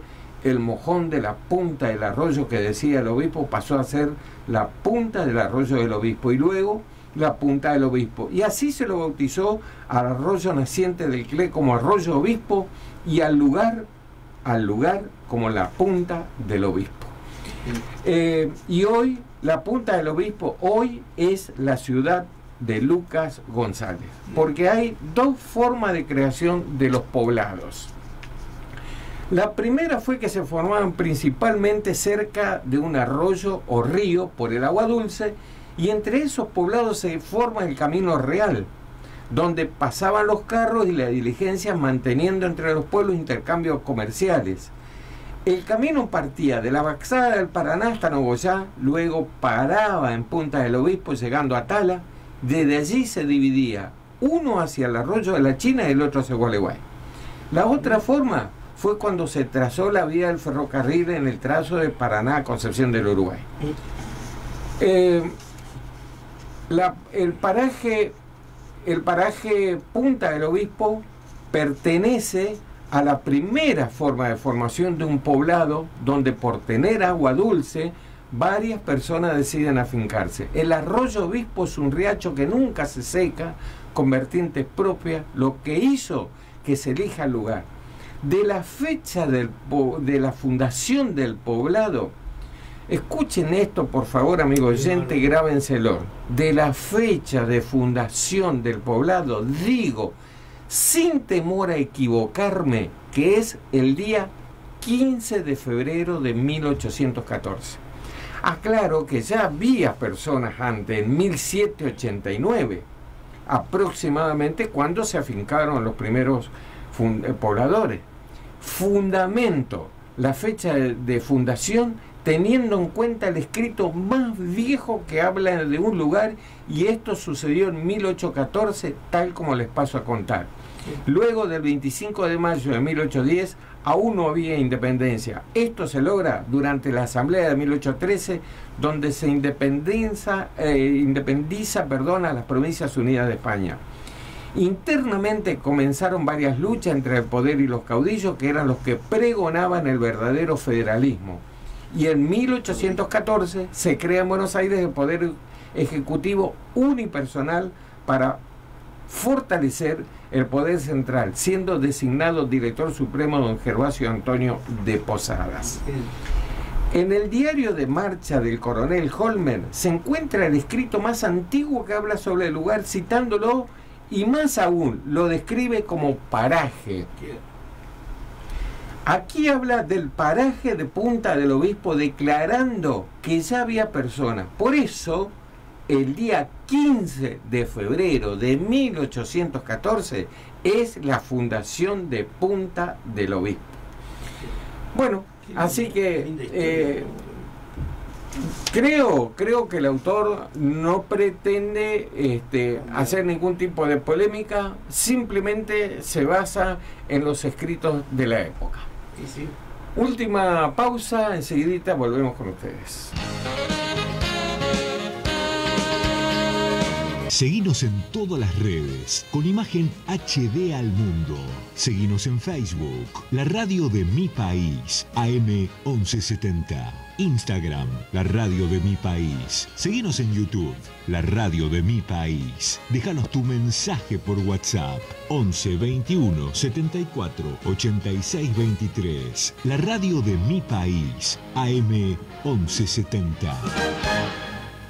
Gran jineteada Círculo Criollo Martín Fierro. 12 y 13 de marzo. Sábado 12, 14 horas fialada de ternero por invitación. Aparte campero por invitación. Jurado Abel Falcón. 19 horas arranca la peña. Cuerpo de baile de la institución. Gran bailanta con Rogelio Rodas. Entrada 400 pesos. Domingo 13, izamiento del pabellón nacional. 9.30 horas categoría clinas. 11.30 entrevero y suelta de tropilla. Almuerzo criollo. 14 horas actuación del chacarero cantor Carlos Ramón Fernández. 15-30 horas arranca categoría Basto. Entrada 900 pesos. 120 mil pesos en premios. Animación Matías Millán, Jorge Torres y el gaucho Raza. Tropillero por invitación en Clina y en Basto. Dos jinetes por tropillero. Valladores Agustín Montenegro y Marcelo Maldonado. Organiza Comisión Círculo Criollo Martín Fierro. Informes 23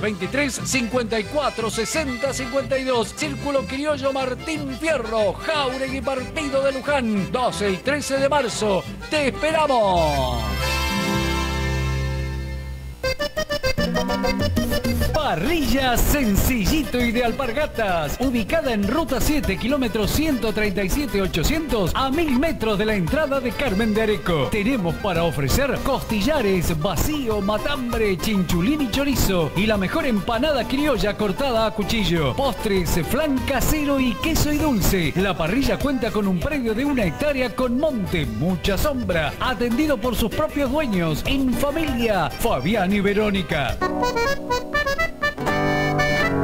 Fin de temporada 19 de marzo. Festejamos con Soledad y Azul Main de Entre Ríos, Villa Elisa y locales. Y gritarle al mundo en un mar humano, paraíso entrerriano, ciudad de la paz. Estará también Oscar Poltronieri, nuestro héroe de Malvinas, recibiendo un obsequio. Y muchas sorpresas más. También va a haber sorpresa de destreza gaucha. Tenemos cantina para ese día. Parrilla sencillito y de alpargatas. Ubicada en ruta 7, kilómetro 137 800 a 1000 metros de la entrada de Carmen de Areco. Déjame que me vaya y que con ella muera. El alma de la música surera, a través de su canto y su guitarra, va pintando el paisaje. Claudio Agrelo. Cada aroma sutil es un deseo. Lo que el viaje me dejó. En esta soledad de soledades. Claudio Agrelo, discografía y contrataciones 15 67 68 82 57. AM1170, mi radio.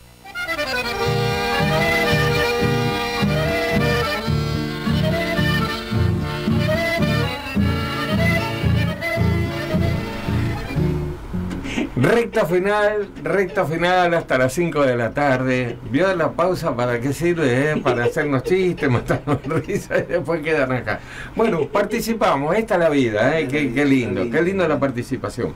Quiero agradecer una vez más a Ñamabel, Casas de Comida, todo rico y casero. Ñamabel, comidas caseras, empanadas, tartas, sándwiches, panadería, calle Conesa, 2342 Muñiz, Buenos Aires, pedidos al 11 44 77 28 38. Transporte de motos y cuatris, minifletes, mudanzas. Leandro David Transportes. Servicios al 11 30 48 04 43. Leandro David Transporte arroba gmail.com.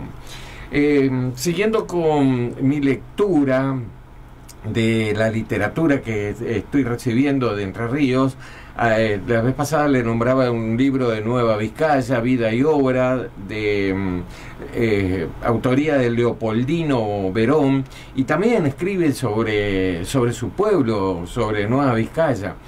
Y en una oportunidad se pone en Nueva Vizcaya una unidad básica. Eh, no, no, no es de política lo que quiero hablar, son recuerdos de pueblo, ¿no? La unidad básica. ¿Cuál era la función de la unidad básica? Al poquito tiempo empezó a dar su fruto.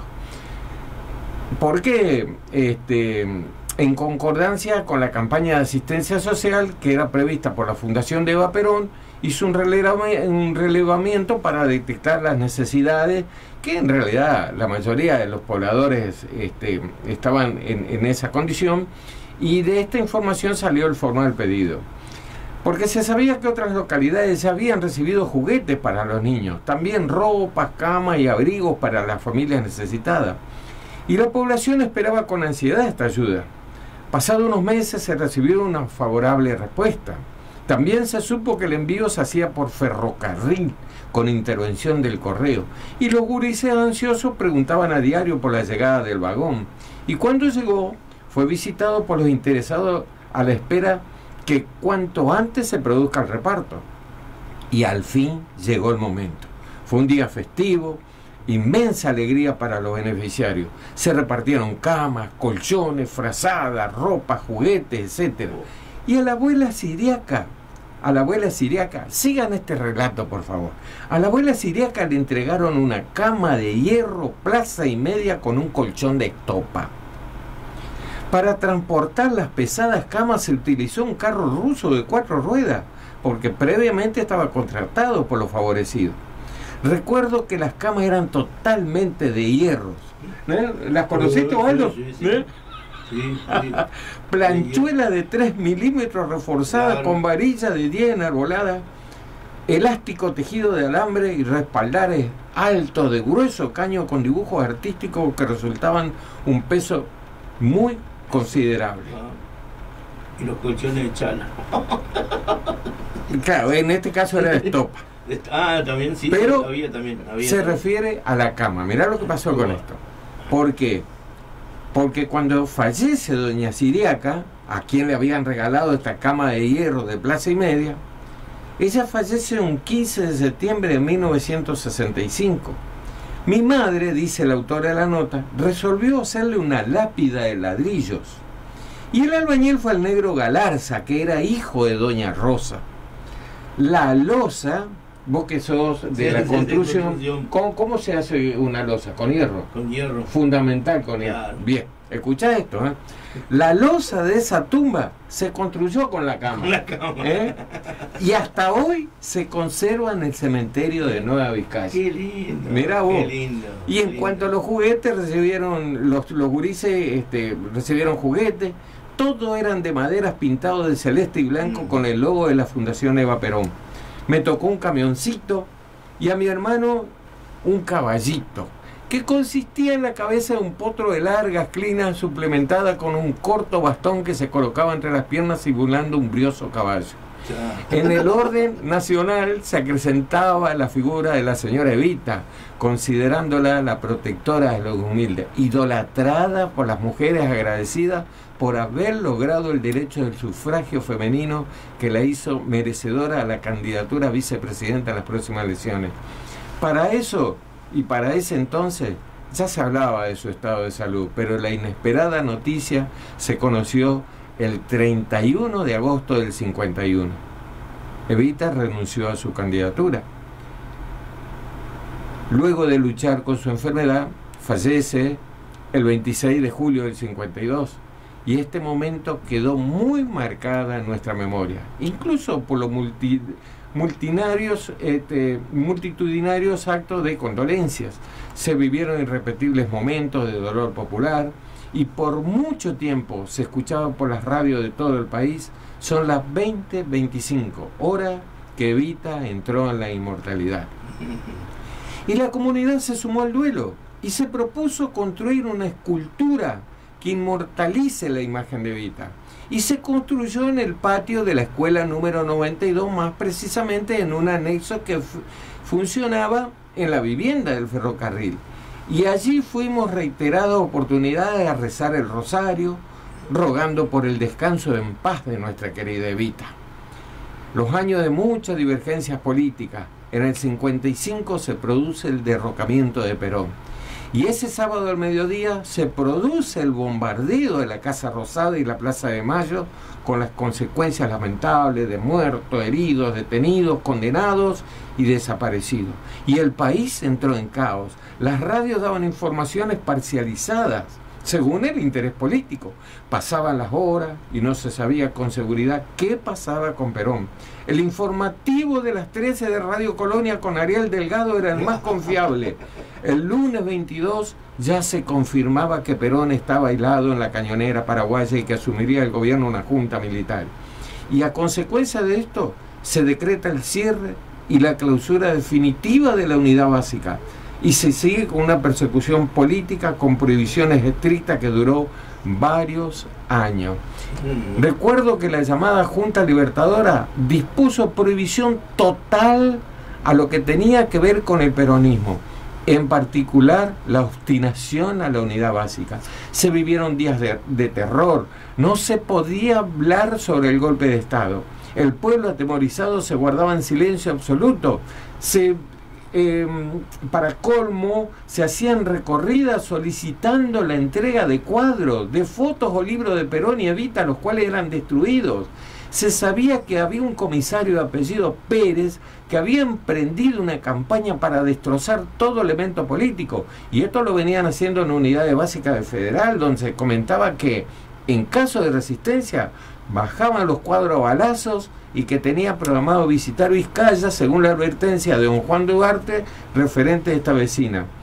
Dorita Riquelme y sus colaboradores, la mayoría eran operarios de la cuadrilla, optaron por desmantelar el local antes que llegue la inspección. Don Fruto Verón empezó con los preparativos para resguardar los elementos y la documentación de importancia de la unidad básica. Eh, esa misma noche, don Verón, con disimulo, tratando de que no lo vean, colocaba la maleta en el alero del rancho que era de techo de chapa fibra y cielo raso de paja, y entre ambos se producía un espacio de unos 15 centímetros, una capacidad reducida, pero con esfuerzo logró ocultar la histórica documentación. Transcurrido unos años de una reparación del techo, don Verón reveló el escondite a su familia, para entonces la persecución política ya estaba descomprimida. Historias de pueblo, historias de pueblo, bellísima, bellísima. También habla de la telefonía rural, de la política, por supuesto, que más o menos hemos hecho, de la planificación y, de los lotes, este, de las despensas, de las carreras cuadreras. Em, qué, lindo, qué linda literatura, Nueva Vizcaya progresista, la democracia. Eh, usos y costumbres de antaño, qué cosa hermosa. Uno se pone a leer y por supuesto, por supuesto, que no faltaba el viejo de la bolsa, el caburé, ¿eh? historia. Acá está la solapa, ¿eh? no salga a la siesta que te va a agarrar la solapa, la solapa que se, este, que se describe en distintas formas, el gato yerbero, ¿eh? el lobizón, eh, todo esto supersticiones, la luz mala, la chancha alzada, eh, qué, qué belleza, qué belleza. Es trasladarnos y el agua bendita. ¿eh? Ah, el agua bendita, no podía faltar el agua bendita y el agua de socorro y la bendición de la abuela. Ah, sí.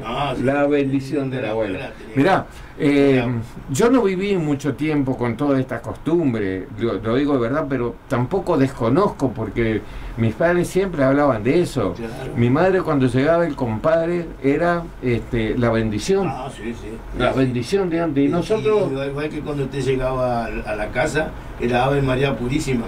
Qué bárbaro, qué bárbaro.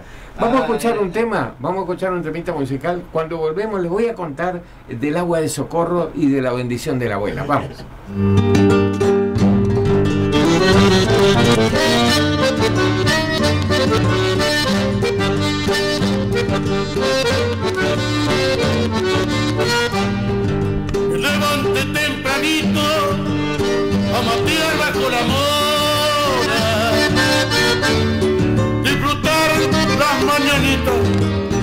Pensando lo que una añora. No me faltaba un amigo, ¿pa' qué le voy a contar? Cantaba Doña Calandria, que me vino a visitar.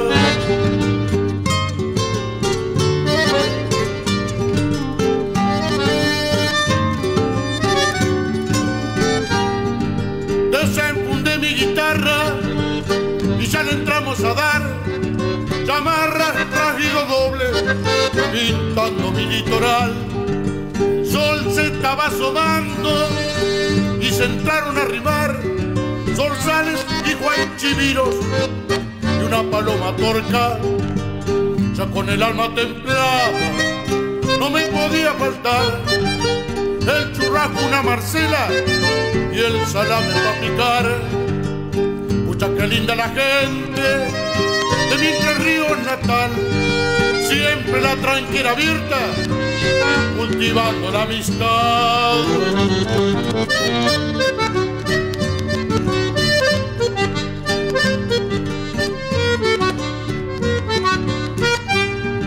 Nunca falta una guitarra un fuelle o un acordeón. Hay cantores para ser dulce, entregan su corazón. Buena jineteada, y si usted conocedor, caballada, tropilleros, jinetes de lo mejor.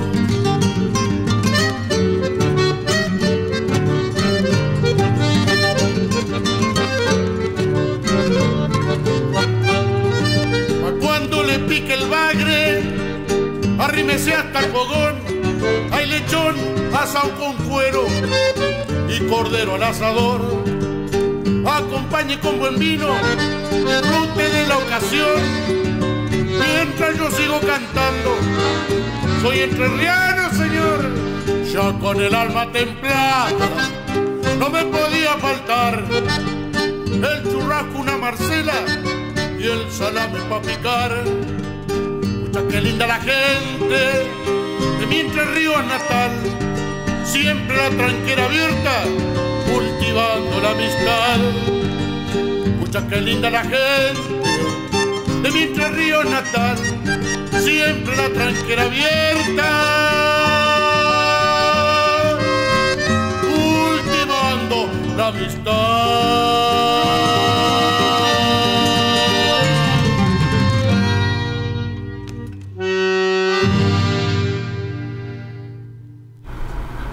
Allí estábamos con Marcelo el Entrerriano, a Tranquera Abierta, Chamarrita de Santini y Torales. Bueno, les voy a leer lo del agua del socorro. En el pueblo las noticias corrían rápido. Cuando nacía un bebé era un nuevo hijo de Vizcaya, al cual todos querían proteger. Entonces se programaban los ritos ceremoniales. Previo al bautismo, echarle el agua de socorro al angelito era obligación. Debía hacerse dentro de las 48 horas de vida. Para esta celebración se rogaba por la protección del bebé deseándole salud y suerte en la vida. El angelito ya estaba protegido y apadrinado. También el agua bendita que se usaba para rogar mejoría a un enfermo grave con riesgo de vida. Los familiares solicitaban el agua de socorro para que Dios lo proteja, pedido a través de esta bendición y de un par de aves marías. La bendición de la abuela. No podemos dejar de olvidar la bendición del más antiguo de la familia, considerada con fuerzas espirituales sobresalientes, como para dar fe y confianza en cualquier situación y momento.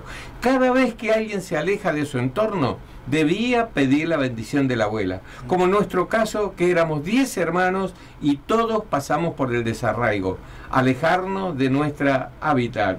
Significaba padecer dentro de extraños y sin tener a nadie que nos consuele. Allí se experimenta la nostalgia por aquel lugar que nos vio nacer. Si emprendías un viaje sin la bendición de la abuela, podría sufrir serias consecuencias. Mire hasta, hasta dónde llegaba, eh, hasta dónde llegaba este, eh, eh, las creencias, las creencias, por supuesto. Y con respecto al agua bendita, que recién yo les leía el agua de socorro, pero estaba el agua bendita, que no podía faltar, antídotos para contrarrestar maleficios. El más conocido era el agua bendita, un vínculo estrecho con la fe y los milagros. La abuela siriaca era la doctora de las tormentas. Cuando los animales eh, se venían para el corral o las casas, los pájaros se agrupaban en los árboles más tupidos, esta señal que el tiempo se va a venir. No pasaba mucho para eh, que en el firmamento unos amenazantes y negros nubarrones estábamos en puerta de una gran tormenta.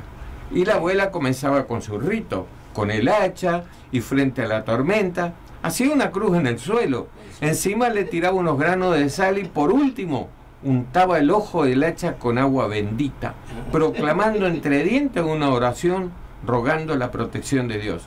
Todos adentro, cerrar bien las puertas y ventanas, ordenaba doña Marcelina, y el ruido intimidaba. Los gurises amontonado junto a la mesa de los santos, y el día se hacía noche. La luz tenue de las velas hacían más tétrica la penumbra del rancho. El viento no apareció y el ruido se alejaba. Los jurises salían a festejar, los pajaritos saltaban de rama en rama, en un competitivo y alegre concierto y trinando hermosas melodías. Los gansos salían de su corral a los gritos y volando rumbeaban para el tajamar. El ternero guacho se puso a brincar por toda la cuadra provocando a los perros de los vecinos. Volvió la calma y la alegría en la comunidad. Nos faltaban los vecinos que venían a agradecer a la abuela por haber desviado la tormenta.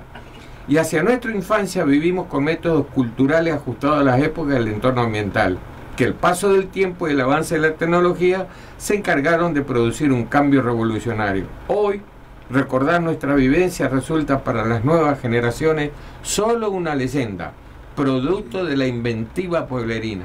Los abuelos, que imaginariamente me acompañan en cada uno de estos relatos, fuimos los niños involucrados o fieles testigos de los casos referidos en cada acontecimiento. Qué belleza, cuando uno se pone a leer todo esto, este, está el tema del caburé, está el viejo de la bolsa, este, la solapa. Bueno, son supersticiones y conté la cantidad de refranes y dichos que hay. Y yo creo que ya lo dije la pasada, la cantidad que, que, escribe aquí este, el autor de este, de este maravilloso, maravilloso libro. En total hay 151 refranes, diálogos y dichos cotidianos. Y no podían faltar, por supuesto, los remedios caseros. Ah, sí, sí, vale. Los remedios caseros. Mirá, es, para, es para hacer, es para hacer este, horas y horas de programa, ¿no es cierto? este, tenía para el dolor de cabeza, para el resfrío. Para el resfrío eran inhalaciones con vapor de eucalipto. Claro. ¿eh? Para la gripe el quemadillo, cáscara de naranja y hoja de ambayo, cáscara de naranja y hoja de niño irupá o sopa de gallina. Para el catarro, miel caliente con aceite. Exactamente. Para la bronquitis, cataplasma, papel estraza caliente untado con grasa de gallina o iguana.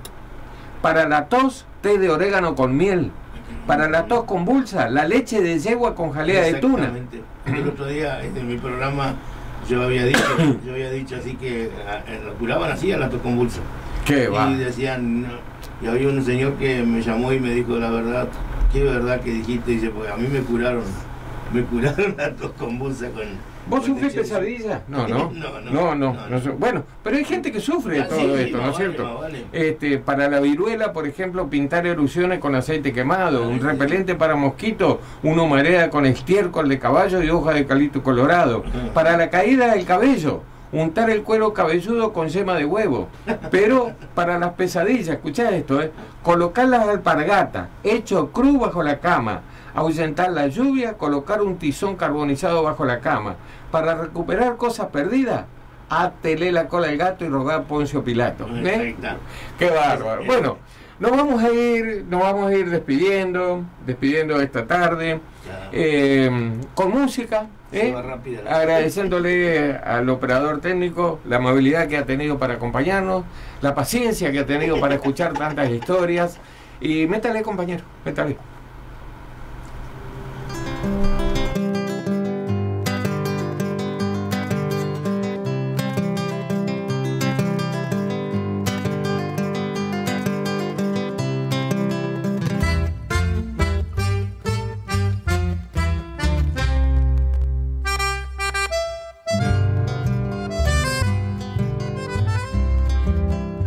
Hermanos, músicos y cantores de la costa del Uruguay, es este mi homenaje para el querido negro Alcibiá de la Rosa y su grupo Memoria de los Pueblos.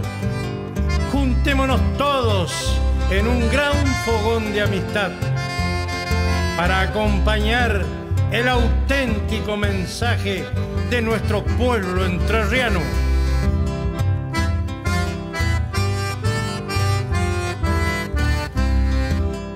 Mi perro y con mi wincher y unas trampas para armar.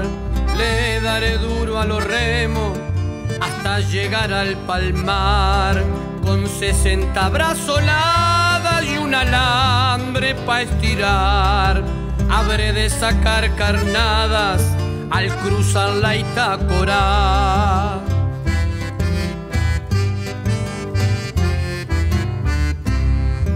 Malaya los guardacostas que me han querido parar. Mi canoa es pescadora, no sabe contrabandear. Chamarrita, chamarrita, dulzona como el yatay. Cintura de palmerita, novia del río Uruguay.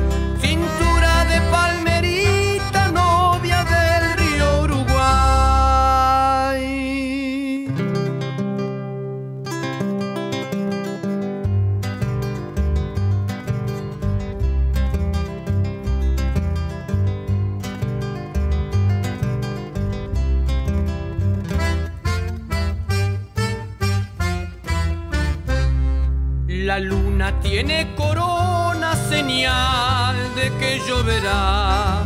¿Cómo he de entrarle al augurio si está cantando el chajá? Acampar en la lomita y el fuego voy a preparar. Si se viene el aguacero, solo hay tiempo para matear. Nos vamos despidiendo, no sin antes agradecerle a Aide Joya, que, hola señor Andrilli, ¿dónde se puede conseguir el libro del boliche de Impini? Muchísimas gracias. Yo le diría que ingrese a Facebook, las redes sociales y busque ahí Jorge Impini y bueno, eh, eh, a través de él puede ser que se haga de ese libro. Walter Cartucho por Facebook, buenas y Santa Don Oscar, como siempre, al pie del cañón, saludos a su audiencia, un gran abrazo y viva la Santa Federación. Domingo Soto también por Facebook, qué lindo Don Oscar recordar estas cosas, yo sigo mi pasión en escuchar radio. A todos, a todos, muchísimas, pero muchísimas gracias, que tengan una excelente tarde, si Dios quiere, el próximo lunes estaremos con nuevas historias y cuídense. ¿eh? Gracias, un beso a todos. Chao, chao.